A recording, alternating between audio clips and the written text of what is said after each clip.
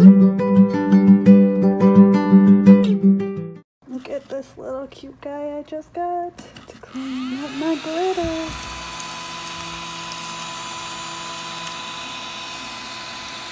Look at that.